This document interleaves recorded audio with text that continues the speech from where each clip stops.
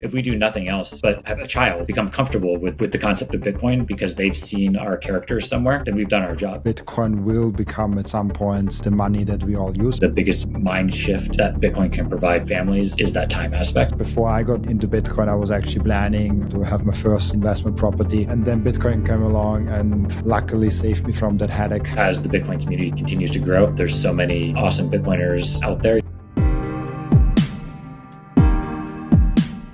And so important to get into education and especially educating the very young ones like those people that only lived in a bitcoin world. Like if, if you be talking about like 12 year old or 5 year old or 10 year old people or kids um, they they never lived in a world without bitcoin. So why is it really important to like uh, educate uh, young kids and young adults uh, under 15 under 12 uh, about bitcoin and why is this your passion yeah, so uh, I guess I'll take the tail end of your question first. So it's a passion um, of my wife and I. So both of us are the, the team behind Shamory.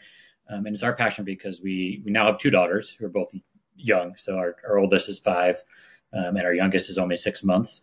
Um, but uh, when we launched Shamory, our, our, our, older daughter was um, in the womb still. So she was, uh, my wife was pregnant. Uh, we had started learning about Bitcoin back in 2017, 2018. And um, to your question, you know, we saw the future um, and the need to one day educate her um, and any future children that we had. And so uh, we we kind of looked around and realized there really wasn't much of anything out there. You know, this is going back five six years ago now, so you can imagine how different it was. And so we decided, you know, okay, let's let's see what we can do on our own. Um, and so that was the that was the the why behind we do what everything we do. It's our it's our kids and then, um, you know, as we've grown, we've realized, you know, so many Bitcoiners in the space are of similar ages. You know, we're all in the 20s, just say 20s to 40s is a big group of us. So you're in that kind of prime marriage, uh, building your family um, focus. And so, you know, we've been able to kind of create a, a community, if you will, of people who are like minded, not only about Bitcoin, but about wanting to raise their families um, and teach their kids from an early age about not just Bitcoin, but really, you know, financial education, independence, um, understanding money, um, and you know where it all comes from. So that's the the long version of uh, of the why behind what we do. Ah, interesting. I, I think it's so important to have uh, a big why. Um, where's this na- name coming from? Shamir? Uh, Sh- Shamir, yeah. So the name comes from so our, our first product was um, was our game. So holding it up here for those that are watching. Um, and so our game is a memory game um, for kids um, age four through adults. Um, we actually have drinking game instructions on the website for those adults that are interested. But uh, the name comes from the fact that it's played similar to the game of memory that probably many kids uh, and adults played as, as kids, where you're flipping over cards, trying to remember where the different objects were to make matches. Uh, so that's that's where the big game is based off of. But it teaches about Bitcoin mining. And so the the name Shamory, so SHA, is coming from SHA 256, um, the, the, algorithm that's used in the mining process. And then uh, Mori comes from the back half of the name memory. So we, we mashed those two words together um, and created Shamory. So yeah, that that's where the uh, the name originated from, and um, kind of is stuck. People like it, um, kind of fun and unique, and has a nice story with it. Nice. Uh, it, it's it's interesting. How, how do you get uh, like the education across? It's like a memory game We have to put two things together and and the the you will learn something with that, or? Yeah. So there's um, obviously better with visuals, but essentially there's um, two main deck sets of cards: the targets and the nonce. And so the goal of the game, just like in mining, is for you know the computers are out there; they're trying to to um, come up with the correct nonce to hash to then uh, match that target and mine the next block. So in our game, um, there's a stack of cards that are the uh, target cards. You flip over one of them, and there's characters on all of them.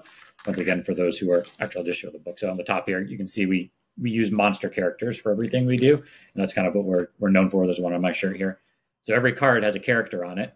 Uh, you find that first target. You want to flip over a matching nonce. Eventually, that happens, creates the first block. So you're mining a blockchain with the cards um, as a group of two or more players. Um, but there's a dice that's used as well that can cause your chain to start to get attacked. Um, if the attack chain ever grows longer than the blockchain, 51% attack, game's over for everybody.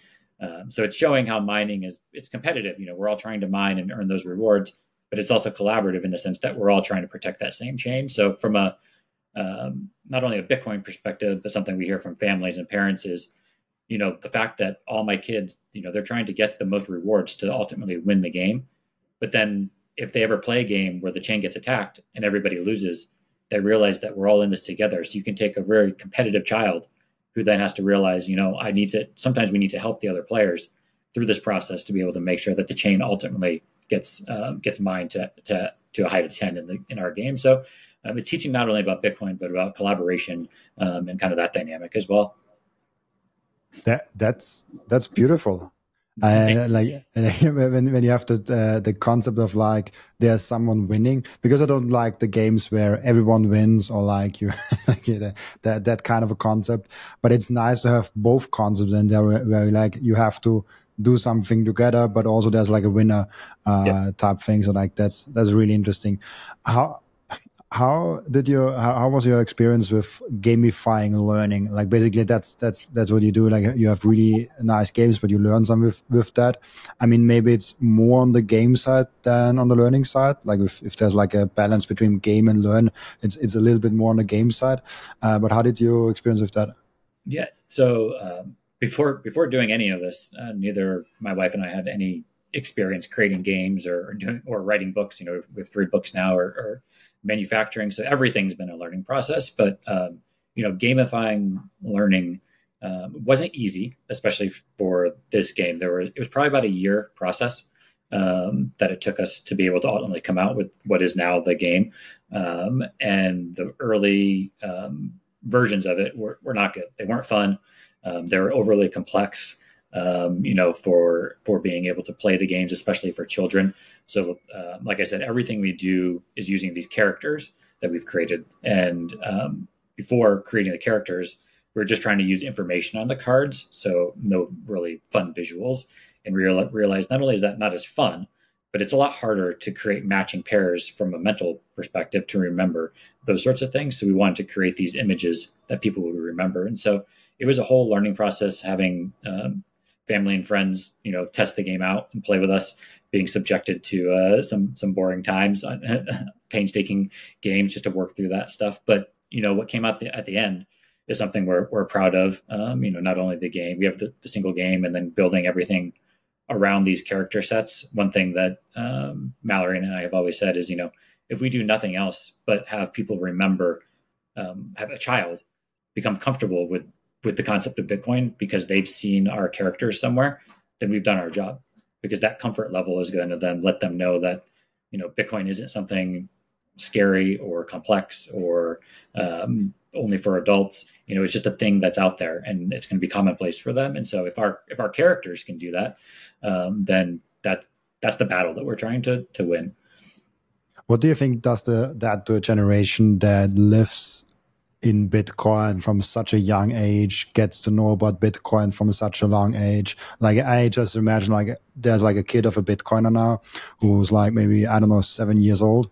Uh, and he, she has like this, this games. Maybe she also has a, like a little bit of a wallet where a lightning wallet where she gets some, some pocket money that she can exchange with maybe another friend that also has a lightning wallet. They like get, get to know about Bitcoin and then about the, the things so early on, like a little bit like the kids with with with uh, phones are like way better than than yeah. someone that is like 70 years old uh, yeah. because they have it from from the, the onwards on. Like, how, how do you imagine uh, a generation from like they are now 10 years old and they they live through that? How different can that be for for the world?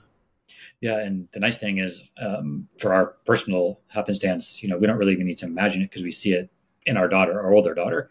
Um, so she's she's five now. Um, many some people out there listening might have met her because um, a year ago when she was three, actually, uh, we started taking her to to conferences when we have booths. Um, so she's there, and part of what we did um, to help bring her into um, the fun of the conference, the booth, learn how to to sell. Uh, that atmosphere is she wanted to create a product of her own and so she created um, first she only had bracelets, so she she made um, beaded bracelets, um, and she had a bowl of them there at um, in Miami at the Bitcoin conference 2023. and then um, had her set up there with a, um, a little sign and a QR code that went to her personal Lightning wallet. Um, and people could come over, and it was all donation based, so there wasn't a price on them. Uh, but she was literally standing at our, our booth for three days straight, you know, eight to 10 hours, asking people if they wanted to buy, buy her bracelets. Uh, many people said yes, many people said no, which is also a, a, learning experience. But to your point, she was, they'd say, hey, you know, how do I pay? And she would say, oh, you know, here, this is my Lightning wallet. Um, here's, you know, scan this QR code and, and you, and away you go. So her being then three, um, you know, got comfortable with taking payment in Bitcoin like it was nothing else. Um, she knows now, you know, this is now a year later. She's been to, um, I believe, four conferences since we, we just got back from Nashville a couple weeks ago. Um, and, and both kids were there with us, and, and Charlotte was there selling bracelets, keychains, and necklaces now. So she's expanded her product line, um, but she's able to to accept payment. She doesn't think anything of it. Um, she thinks of Bitcoin as just another form of money, like anything else. Um, she knows enough that uh, if you ask her, you know, she'll say, you know, you want to spend your dollars, not your Bitcoin, because Bitcoin goes up and dollars go down. So she understands the concept of, of holding and and and that sort of stuff at a very minimal basis. Um, and so seeing seeing it through her eyes lets us know that it's just going to be second nature to all these kids. To your point, you know, picking up an iPhone, um, an iPad, turning on TVs, going through apps. You know, it's all it's all the same concept. Um, and so being able to live it every day with her, and then down the line with her when her sister gets older, um, I think we're all in, in good hands. Um, and really, it's the adults, um, as we all know, that are that are harder to teach and to to change the mindset of is that um, do you think like there's always this question in my mind and i asked that like since the first episode basically and i did not come up with a nice answer to that um, if if we have bitcoin and for me it's like abundantly clear that bitcoin will become at some point the the money that we all use it's just a question of like is it five years or 500 years like that's a the time variant is like really hard to predict but i think there's no question about like that it happens at some point um, for me at least. And and the question that I ask myself so much is like, what will that change? Like, is is is changing the fundamental uh, layer of money? Is the changing the the unit of account that we exchange value with? Is is just exchanging that, exchanging something in, in the human brain? Is that changing the, the, the world fundamentally? or is it just money in the end of the day and humans are still humans and humans will uh, still steal humans will still do do bad things and good things uh, and it does not do a lot do, do, you have some some answers or some insights as as you have a lot of context also with like new generation that gets in bitcoin yeah i think uh, obviously like you said who knows what will actually happen. I guess i could answer it from what i would hope happens uh, and the biggest part of that hope is that um, families, um, such as ours or any other ones, that are able to um, adopt the Bitcoin side of things and see the, the long term value in doing so, are able to recoup the, the time that they're able to spend together and enjoy each other and go on vacations and um, have less stress around the financial aspects of life and um, live more free. And so that's that's part of the benefit that you know we we are able to see in um, in the future. And so, how long that takes for for that to shift from just kind of the um, the hardcore set of Bitcoiners like like you and I and maybe you know others out there into the vast population, I don't know. But to me, the hopefully the biggest mind shift um, that Bitcoin can provide families is that time aspect because I think so much of it is has been taken away um, from past generations. You know, um, both both parents having to work or um, you know really you're, you're, sending your kid off for eight six eight ten hours a day um, coming home eating dinner going to bed doing the same thing over again five days a week.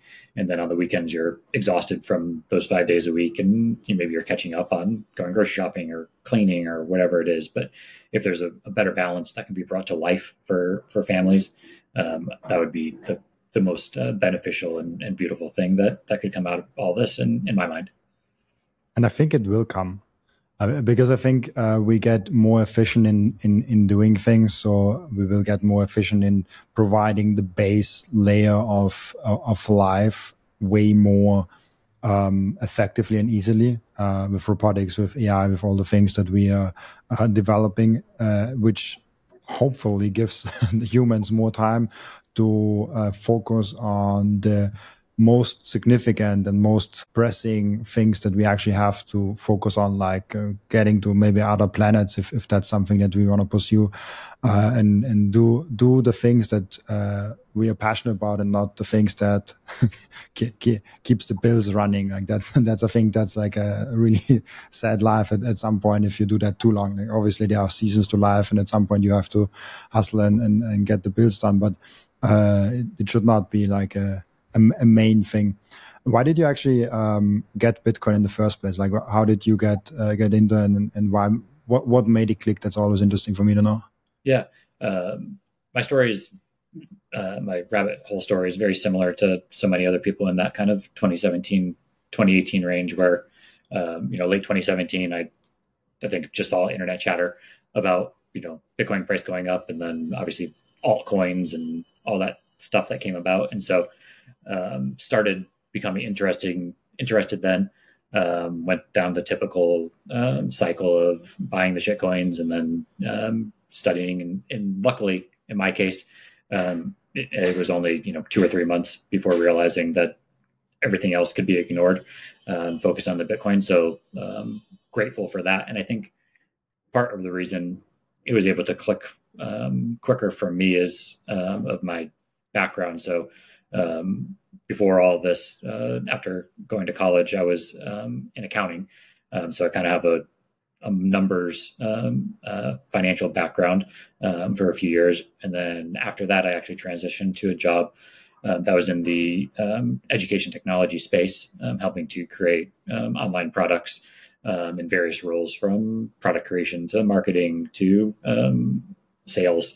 And so my background is a mixture of numbers um, and understanding ledgers and the importance of verifiability um, mixed with creativity and um, understanding the value in um, technology.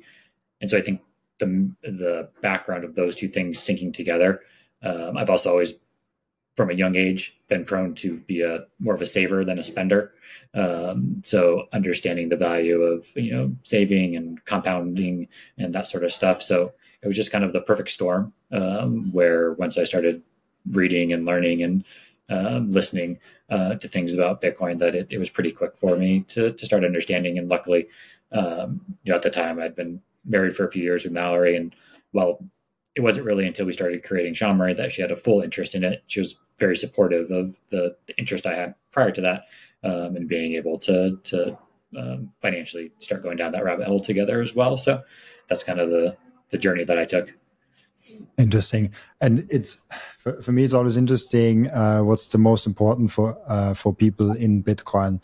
Uh, like what, what what is it for you? Like uh, some say like oh it's like that we we have to have like the store of value. Or some like the uh, fact that you can just like uh, have the payments across borders because they like to move a lot around and then fiat is it's a pain in the ass when you try to move uh, money around. So like what's for you like the the most important thing that that bitcoin does?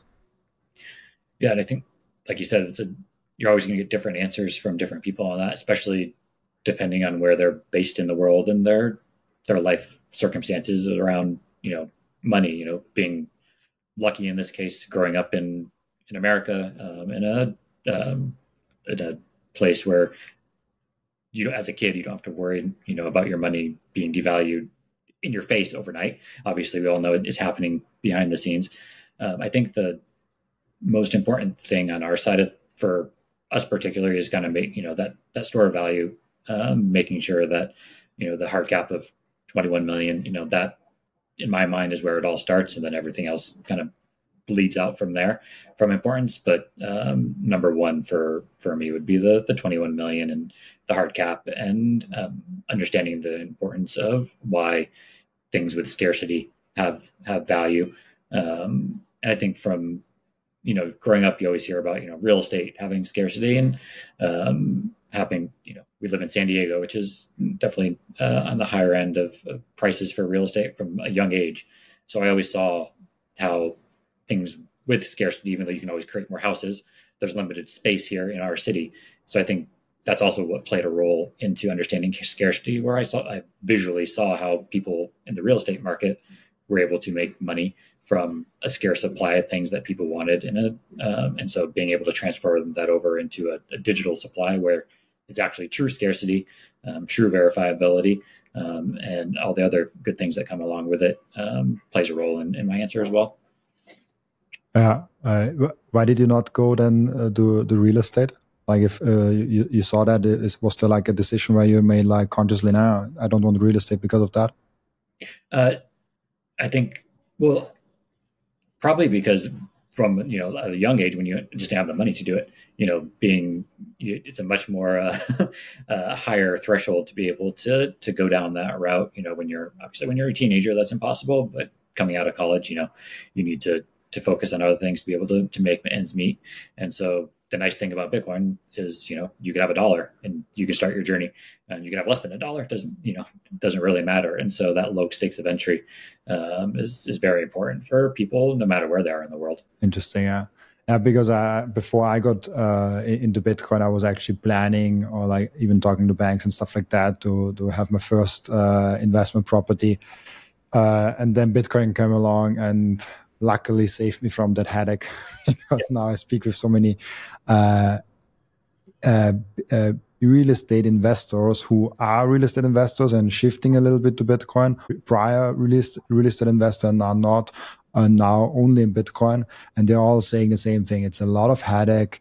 Uh, the the passive income is not passive because you have to work for that a lot, yeah. and it's way more easy to so just build a business that makes sense uh, than have real estate. So like obviously a lot of uh, millionaires were created with with real estate, but it's a lot of headache. It's it's it's not like oh yeah buy a property the tenants will, yeah. will pay and everything is, is perfect. So yeah. I just had a question in my mind that I never had uh, in my mind uh, in my 200 podcasts. Um, why 21? Did you ever research about that? Like I, I never researched that, the topic. Why exactly 21? I, I never, I don't think I've ever researched it. Um, and I don't know if there's an actual answer, if it was just a number that Satoshi came up with, but it's a, it's a good question yeah, I just like, oh shit, I never asked that question. and it doesn't doesn't come, come, along that I did not ask a question. Um, but yeah, probably probably the the answer is not as interesting. Uh, otherwise, we probably would have known uh, why. But I, I, will look it up after the podcast. It's interesting. Yeah. Uh, perfect. Then um, one question that I also have, uh, as you try to teach us with the books about uh, money uh, and also with for young kids, how how do you do that? Is this like a, a, a normal story where you kind of get Bitcoin in the role, or? Yeah, and so um, the uh, we started writing um, stories after launching our our card game, and so our first book was released in 20, uh, 2021. Um, and so at the time, our daughter was you know one ish, um, and so we're very big into the reading um, to your children side of things in our in our household. You know, during the day, nighttime readings, that sort of stuff. So, um, you know, when they're tod- infants and, and toddlers, um, you're very familiar with the traditional books around um, that you probably grew up with. You know, Goodnight Moon, you know, everything else. And so we had. Speaking of Goodnight Moon, read that to her many, many times, and it clicked. Well, you know, there should be Bitcoin books for kids. So our, our first book was actually um, Goodnight Bitcoin, and so it, it tells the story of um, Satoshi and how uh, creating Bitcoin for the first time in a, in a low stakes rhyming way. And so, uh, you know, everything we do is, is done, like I said, using these characters. And um, if you ask many people who know about our company and, and the families, you know, their kids know who uh, Satoshi is because of, of this character. So this is Satoshi in our books. He's our, our most famous monster, if you will. Um, and so our stories are meant to just be that that low stakes entry point fun. Um, and so between Goodnight Bitcoin, um, our second book was uh, If You Give a Monster a Bitcoin. So these two are very very similar, um, more that infant toddler audience. And then in uh, July of this year, we released our third book, uh, which is more of that five to, to 12 year old, which is uh, Satoshi Nakamoto and his Bitcoin invention. Um, and this is actually the first book we didn't actually author. Um, so we published it on behalf of our friend Tomer Strolight, who um, some people might know in the, the Bitcoin community. So he had actually written this book years ago, uh, had never gotten around to to going through the the creation process to putting it out there, and, and reached out to us and said, "Hey, um, love what you guys are doing. I I want to have this book as part of you know um, the books you guys are releasing. Let's make that happen." And so uh, about a month ago, we we launched that, and so it's a perfect um, addition um, to what we offer. And um, you know, our goal is to make things fun, low stakes. They're not they're not very dense. They're meant to just be um, informative at the the highest of levels to get that child's interest. Start learning keywords, whether it's just learning the words Bitcoin, um, uh, Satoshi, how. Um, nodes, you know, they're all worked in there, but they're not things that kids, you know, it's not a textbook, so it's not uh, scary and, and daunting for them. And and the nice thing is the kids that are being targeted for these books, many of them are still um, not able to read yet. And so it's usually the parent in many cases or grandparent or whoever it is that's reading to the child. And we've heard many stories and we've actually seen ourselves with family members around us who aren't Bitcoiners yet, where they've read the stories to our kids and that spurs question in the adult's head as well.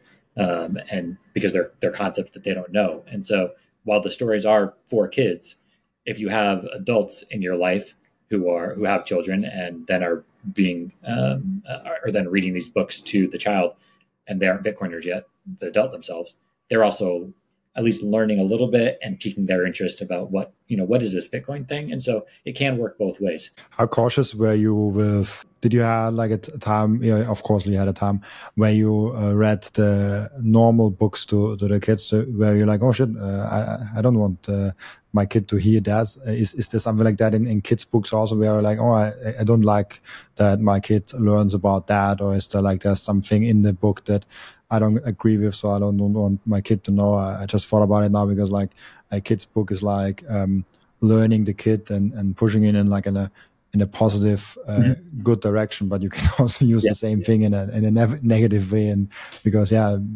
kids are probably uh, way more uh, influence. Like you can influence them way better than someone that is like uh, 40 years old and already has some filters uh, and some guards uh, up. Yeah, no, there's you, uh, you definitely have to keep your eye out. Um, luckily, you know, we're pretty good at that sort of thing. And um, as we're reading, you know, as we're reading to our, our kids, you got a sense if something's coming that you want to to shy away from, and so you can either change. Maybe sometimes you maybe just need to change the word slightly if it's something small, and you just kind of jump over. And if they're not they're not reading yet, so they don't know the difference. Um, other times you might be reading a book that you realize is going in a, a direction for whatever reason uh, that you don't um, think it, you want to take it um, you kind of just say, okay, you know, let's switch to the next book or that sort of thing. So as a parent, yeah, you you have, especially as they're young and they're they're learning how to read, you have that freedom to be able to to shift things around and and and such. Obviously, as they become older and they're starting to read books themselves, um, some of that could get a little harder. But um, in general, you know, there's so many, not even just speaking of Bitcoin, but so many amazing books that are out there, creative books, fun ones um, you know, depending on your child's interest. You know, our daughter loves fairies and unicorns, and so there's there's a plethora of books in our house that are about fairies and unicorns that you really don't have to worry about the uh, the topic being anything inappropriate um, when you're talking about that sort of stuff. And so, yeah, it's a it's something to be conscious of as a parent, uh, but it's also something that's fairly easy to to you know control and, and make sure that the um, the messages that are being brought about are ones that um, you think are, are safe and, and appropriate for your kids. Are you, are you also doing homeschooling or is, uh, is she in a school? Yeah, so our our oldest is, is homeschooled. Um, our, our youngest will be as well once you know she she grows up um, in a few years. But yeah, she's been homeschooled for a few years now. Technically, um, in America, she'd be starting kindergarten um, this year. Um, but we've you know been using a homeschool um, curriculum, if you will, um, for a few years now, and she's um, she loves it. Is um, she's a sponge, um, and most kids are. And so I think one of the things that many parents shy away from, or maybe they're afraid of, or they don't realize, is just how soon you can start teaching your kids anything. So I'm not just talking Bitcoin, you know, math, um, science, how to read letter sounds, you know, start them as soon as you can, you know, as you're talking to them um, and they'll they'll become interested and they'll they'll pick it up. Um, our our older daughter is um, very creative, but also very um, mathematic driven. Um, she goes to sleep every night holding a calculator and doing math problems, um, and so it's uh, extremely cute and um, heartwarming to see that she loves math so much. Uh, but you know, at the same time, she'll spend hours a day coloring and drawing pictures and doing art um, or doing science experiments. So as soon as your kids start showing interest in certain subjects, you know, just help them learn along that process and um, don't, you know, obviously homeschooling isn't for everybody. Um, also, some people just, you know, have going back to the earlier question talking about time, you have to have time and a, a flexible schedule to be able to implement that sort of thing.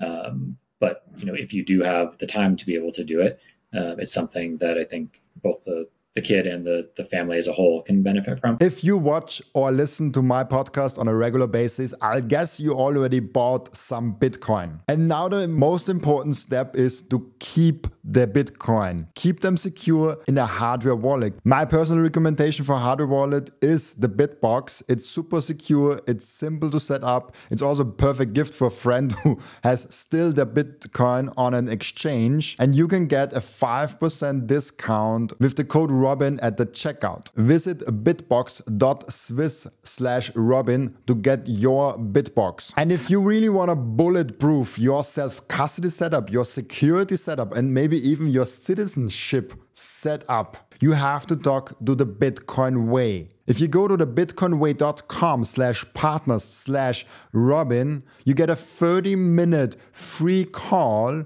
where you can dive deep with them if your self custody setup is secure, if your citizenship is secure or maybe might be improvable, or your digital footprint in general is secure. They are the experts in cybersecurity, in Bitcoin self custody, and how to be a secure, sovereign, individual in general. And last but not least, I have something completely new for you guys. I partnered up with Coin Vigilante. This is the most beautiful Bitcoin timepiece that I ever saw created by anyone. Look at that beauty. I love it so much. Coin Vigilante made a perfect Bitcoin watch. That's the perfect, subtle, elegant way to go out there and show that you are a Bitcoiner. And that watch brand is Bitcoin Bitcoin only. Make sure to check out the link in the description for those amazing Coin Vigilante timepieces. Those watches are amazing. I love them so much.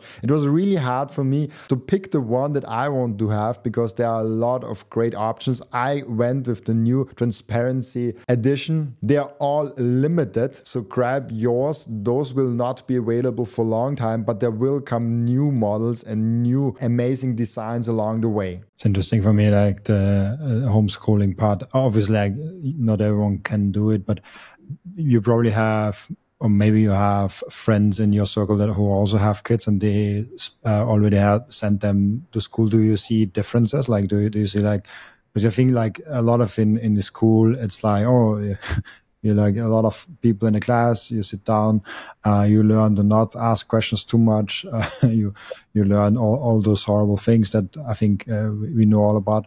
Do, do, you see already differences or is it too early? Yeah no definitely see differences. And obviously every kid is every kid is different on their own and every school is different or preschool or daycare program. Um, i think one of the biggest differences that we um, see is particularly potentially in kids that, um, let's say, have gone to not just school, but daycare from a, a young age. Um, and so they're around, you know, kids from, you know, for eight hours a day, starting at, let's say, you know, a year old or two years old. Whereas um, in the case of our daughters, um, particularly the older one, she she's grown up around us and adults. Um, and so we've always spoken to her like she's an adult and um, given her the chance to be you know the mature child that we wanted her to be and that's that's what happened. Um, i think so many times when kids particularly very young kids start going off into daycare or childcare roles where they're they're all around you know 5 10 15 other kids all day with one adult is they get talked to like a, a child or a baby for the majority of their their days. And so it doesn't give them the chance to um, gain that maturity that any kid could have if they're you know talk to them like an adult like same thing you know i was just saying around their sponges. You know if you give them the opportunity to be mature and to start learning mature and responsible things and not talking to them as if um, they can't do it you know they'll surprise you and they'll they'll do it. And so um, i don't think our you know like i said our daughter was three almost four uh, when we took her to the first conference last year in miami I don't think the majority of three year olds um, would have been uh, able to sit and be at a booth for eight to 10 hours a day, asking people if they want to buy a bracelet, strangers being told no, having fun. Like, you just have to put them in those situations to let them learn. Um, and, you know, you know, just the world will be their oyster after that. That's, uh, that's I never heard that because like it's it's so interesting when you think about uh, a kid growing up uh, uh, with more with adults. How's it how's it with socializing? Is is she in in any groups like because when you put it in school, when you put it in kindergarten, it's it's pretty pretty easy because the the, the social circle is there, yeah. and it's also something that I noticed with myself and with with others like you learn how to socialize properly with like 20 years old because till then your social circle is just like oh where do you train and where do you go to school? And that's uh, like a social circle and maybe family. Uh, and uh, it's interesting that your kids have to learn this from from from way earlier on and are probably way better with like 14 than the most 20 year old. Yeah. No definitely you know i think to no surprise, you know, when you when people think about homeschooling, they the, one of the first um, people not um, in the homeschooling side of things think, oh, well, you know, how does how does your kid make friends, or how are they going to be around other kids, whatever. Um, but there's so many, particularly, you know, we live in a big city, so there's so many different opportunities out there, and so she's always had, uh, you know, different groups. You know, she plays soccer, she plays baseball. Um, she's on does you know swim. She's um, my wife is part of another homeschool um, group that uh, meets um, weekly, um, um, if you will. So they're around other homeschool kids. Uh, beginning beginning here in a few weeks, um, she'll be going to a it's called a, an enrich, homeschool enrichment center, a couple days a week where they're able to have kind of both free play but also kind of structured learning experiences, um, putting on plays, doing science experiments, so that sort of stuff. So you can you can homeschool in many different ways, um, and you can socialize, make sure that socializa- socialization is there in many different ways outside of using school as that main, you know, six hours a day, where you're six to seven hours a day, or eight hours if you're doing after school program, um, or even more than that. You know, where it's just a it's thought of as a daycare in my mind for most parents, where yeah, you're sending them there to learn, but we all know like kids aren't learning for eight hours a day, nor do you need to. Um, you know, it's surprising how fast and how little time, especially when they're younger, you need to put in to be able to have them start learning things. You know, if you know, starting when she's two or three years old, even before that, you can start doing you know math problems and that sort of stuff for 20 or 30 minutes a day and the growth will be something you won't imagine. So it doesn't take eight hours a day to to learn these things. So get get your learning in how you need to, and then you have so much other time in the day to enjoy all those other socializations with other whether it's families or whoever in your in your homeschool network that are out there. That's interesting. Yeah, I love that a lot. Um, obviously, I was not homeschooled. I think I don't even know if it's in Austria possible. I know it's not in Germany possible, but I think Austria is actually possible. Um, but it's uh, it's it's a way better. It's it's it's way better to to do it like that. I think, and it also teaches responsibility. I think I think we we we kind of have a lack of of taking responsibility in in our uh, society at broad and which brings me a little bit to, to my next question uh, that I want to jump in uh, that, because it was just in my mind now. Um, Bitcoin banks. Do, do you think that we will get to a state where everyone is their own bank and they hold their own keys and they, they, they do their hard work themselves? Um, is that even possible? Or uh, is is that just like oh yeah there will be bigger bitcoin banks. Most people will hold it with some custodian. Uh, and right now most people hold it with custodians. Uh, only a small small small group of bitcoiners actually have a hardware wallet. Uh, i think the numbers are around like 5% or something like that what i heard. I heard even numbers are around 2% but this, this seems very low. Uh, but do you think that we come to a point where uh, maybe with trends like homeschooling, maybe with other trends uh, that is going on, that we come to a more responsible society that takes their own keys in their own hands.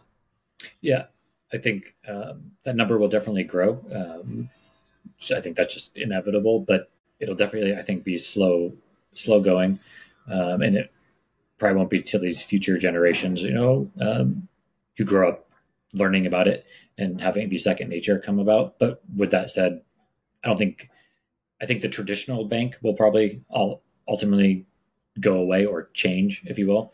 But there'll probably always be some need for custody uh, custody in some form, whether it's for um, just hold, holding it um, or obviously uh, the growth of you know Bitcoin backed loans, um, people wanting to be able to, to use it that way, and and everything else. You know, there's going to need to be call them traditional financial instruments with a, a Bitcoin wrapper on them, if you will, um, that that come about and make it easy um, for people to to live their life in that that way. And you know, the growth over the past couple of years and those sorts of things, I, I think probably gets underrepresented. I think a lot has happened positively to be able to you know make um, uh, multi-sig easier to use in, in various ways. Uh, obviously, uh, during the last uh, bear market, you know, loans and that sort of stuff became a hot topic, understandably, since it wasn't done in a, a safe way in many cases. But there are safe ways ultimately that that can be done um, down the line, and so I think we'll see more and more of that. And you know, five years from now, it's going to look completely different, and 50 years from now, it'll look even more different. I think so too. I hope so, at least. Uh, uh, my hopes are up. I, I always advocate for self custody. Uh, it's, but it's it's hard. I even have friends that are full on 100% in Bitcoin and they all have it on exchanges, and I'm like, but it's all, already a, a good part that they have Bitcoin. Yeah. Um, coming uh, to one more question about parenting because it, it is really interesting for me. Uh, I did not plan to have those questions on parenting, but I think it's really interesting. Um, you said also that you learned from very young age sales, basically with standing on the booth, something that I experienced the first time with 19 years old. So I think uh, having that from a young uh, uh, age on is, is amazing to learn those small lessons with, with, with yeah. rejections, with keep going and stuff like that. So young already, um, and learning her to be way more independent uh, than than any like uh, other kid in that age. Um, how do you have some some strategies, some some things because you, you mentioned before the, the age group. Uh, I know that the the diff, the average viewer of mine is like between 40 45 years old uh, i know that most of them have kids like uh, because most of my guests have kids most of when i ask in the community they they seem to have like kids or want to have kids uh, yeah. which is amazing to see in the bitcoin community like the the kids uh, rate is just way higher than I think in the in the average uh, uh, average uh, society out there.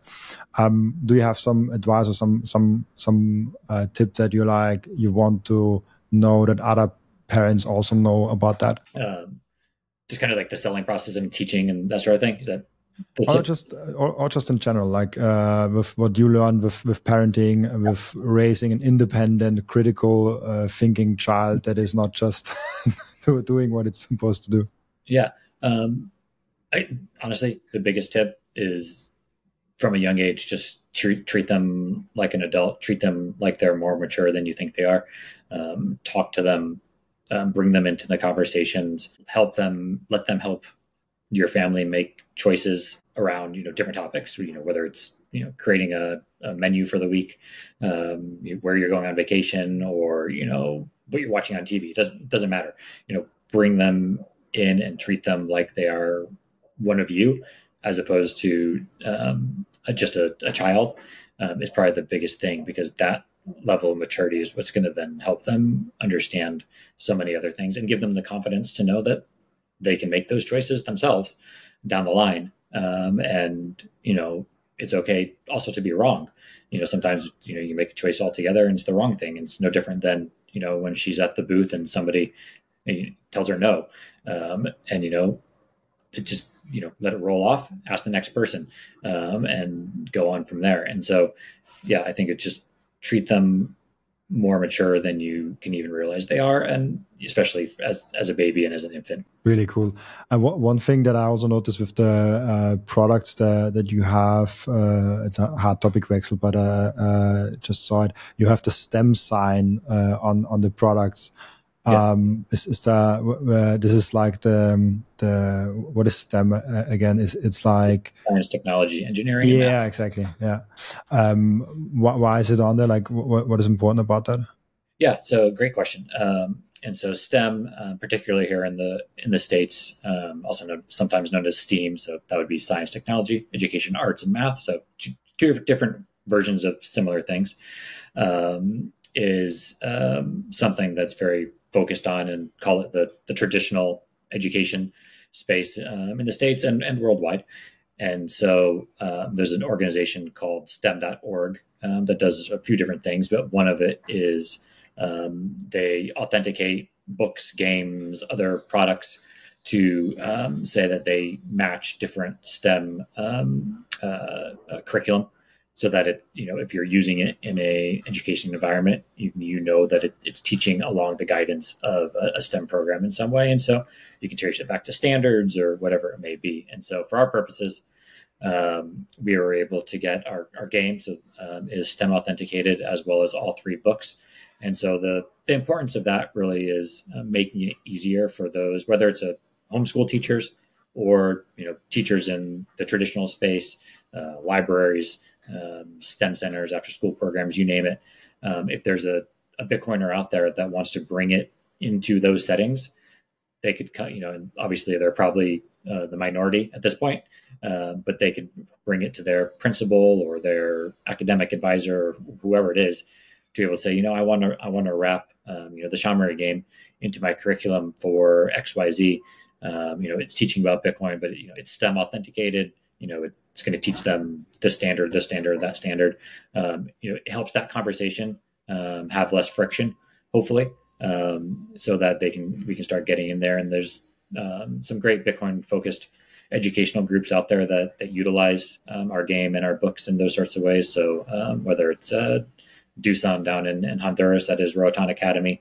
Um, or there's a gentleman uh, named Zach who does after school Bitcoin STEM after school programs um, in, in the States back east um, and some other ones worldwide. You know, being able to have that authentication can help in those sorts of settings. That's uh, that's definitely uh, in some settings you need that like label. The the don't trust verify yeah. is not in all of our lives. exactly. if, every, if everyone thinks like don't trust verify, I think we would not need uh, all those signs. I, I, mean, I live in Austria, and like the, the titles are really big here. Like if you have some titles in front of your name, uh, that's valued very highly, and uh, I don't get it. it's valued highly. Yeah. Uh, it doesn't doesn't mean anything for me. Exactly. Um, coming closer to the end of the podcast, uh, what can we uh, learn from you besides all the things that we already talked about uh, on on the podcast? Oh, geez, um, I think the biggest thing for maybe people out there, besides kind of the learning about our products and parenting and Bitcoin families, would be, you know, I think there's so many people out there with their own expertise in, in various areas of, of, of anything that maybe are you know have the back ideas in the back of their head about having you know they want to work in bitcoin or they want to create something around bitcoin or whatever um, that journey uh, or dream could be. And i think one thing would be just to say do it. Um, start start the podcast create the company create the product. Uh, i'm sure you feel similar you know before you started your podcast having an idea you know just do it. You'll learn. Um, that's what we did like I said at the beginning, you know, so what six years ago now, uh, we had literally we had never created a game before. We had never written a book. We had never created a plush toy. We had never gone through manufacturing processes, created a website, e-commerce, you name it, zero experience. Um, but we just dove headfirst, started, created, um, learning the process. The nice thing is, you know, as the Bitcoin community continues to grow, um, there's so many awesome Bitcoiners out there. You know, no different than how we got connected through Stackmore. Um, I believe made the introduction, and so you know, worldwide doesn't matter where you are. Um, you know, everything's digital. So um, being able to tap into that network, and if you have questions, uh, you'll find people out there that that will help answer and and be able to to help guide you. Uh, but the the first step and the biggest steps are going to be um, yourself and being able to take that chance. Um, obviously, I'm not saying go quit your job tomorrow um, in most cases, but you know, just just do it. Uh, maybe it won't work, but at least you could then say it worked. You you did it. You're not going to have that regret regret because you know I could sit here saying you know if Shamory stopped tomorrow for whatever reason, myself and and Mallory and, and our family, I'd, I'd feel successful in, in not in that you know it's made us all this money or anything but in that it's I did it. We did it together. Um, so many people enjoyed what we created, and um, you know that's the satisfaction that we we wanted from it, and you could have the same. And I think the Bitcoin community is a special one as it's really generous. Yeah. Uh, there are really helpful people in there. Uh, it's it's one of the biggest problems uh, th- that's kind of origin story how I came to have a daily Bitcoin podcast. I just wanted to have a Bitcoin podcast once a week uh, at first, and I came from that sales uh, background in IT security, where I was like, okay, you write ten people, and maybe one has a meeting with you, and from all those twenty people that you have meetings with, maybe one buys something. Yeah. Uh, but it's no problem because yeah. But uh, with with Bitcoin, it's like, oh, you write twenty people, hey, do you want to be on my podcast? And yeah, twenty yes came back. and, and you don't even have the podcast yet. Like there's not, not one episode out. So that really surprised me. And then my calendar was full with with uh, podcast episode bookings, and I had no podcast. And I just like started. and I was like, oh, interesting. Yeah. Now now I have a podcast three times a week, then four times and five times, and then at, at some point I was like, ah. Fuck it, I do it every day now, uh, and like one month later, I was like, "Oh, I can actually live from that," and, and now I do it full time since uh, half no four months or five months now full time, and it's it feels just uh, so amazing. So I can 100% attest to what you just said with uh, just doing it and, and and believing in yourself and, and and like yeah you you will find if you really if if you really like what you do and if you really are passionate about it and and and you actually try your best you probably will find a way sooner or later. Like it yep. depends on, on how long but uh, you will find a way somehow Really cool. Then, uh, yeah, thank you already for, for, for the podcast. We have one last thing, the, the end routine of the podcast where the previous guest is asking a question for the next guest without knowing who the next guest actually is. Uh, and, uh, your question is an interesting one, uh, but a little bit, uh, generic. You can take it wherever you want to take it. What is for you the main problem, uh, that Bitcoin is solving for you? I think, the main problem that Bitcoin solves for us would be, um, we touched on it earlier in the conversation is the the time aspect for our family. Um, you know, without quite honestly, without Bitcoin and starting to learn about it years ago, um, we probably wouldn't be able to homeschool our kids. We wouldn't be able to have as much um, time freedom as we do um, currently um, because of it. So, you know, I couldn't. My wife and I talk about this all the time. Neither of us could imagine, you know, going back to the days when every, you know, five days a week, having to get up, drive somewhere, sit in an office all day, drive home, do it all over again. Um, you know, it seems like a lifetime ago, even though it wasn't very long ago um, in reality. But trying to imagine that, um, doing that now um, after uh, having kids and, and having the, the time that we have with them is something that, you know, neither of us ever would want to go back to. And, you know, thanks to, to taking the time to understand Bitcoin, learn about it, um, and understand the, the long term value in it is is what it's provided us. So that that would be my answer. That is amazing. Uh, it's beautiful. I feel like in in a sense, like uh, I made a post yesterday with like the only thing more valuable than then Bitcoin is time. So I think there is a second best. That, that time is the second best asset that you can have. Probably the the best one, and, and Bitcoin is the second yeah. best. Uh, and really cool. Thank you for taking the time already. Uh, and uh, where can people uh, find you when they want to ask you questions or something like that? Yeah. So um, obviously, from from the Shamory side of things, um, our website is shamory.com, S H A M O R Y, um, or on um, any social media, you know, at Play Shamory. Uh, most active on on Twitter or X or whatever you want to call it. Um, so feel free to to learn more about the company in those spots. Or um, for myself, on Twitter X, uh, I'm Scott M Sibley. DMs are open in both spots. So feel free to uh, to reach out. Um, always happy to to chat, um, answer any questions, um, jump on podcasts, you know, you name it. Um, and obviously, you know, as we're um, at different conferences, um, always happy to, to see smile, smiling faces come over and, and either see you again or, or, meet for the first time. So if you ever see us somewhere, definitely come over, say hi, and and uh, love to chat. Perfect. Thank you so much for for being on for taking the time. Also for everyone watching and listening as always thank you for being here and joining us today. Uh, i will be back tomorrow with another episode. Bye bye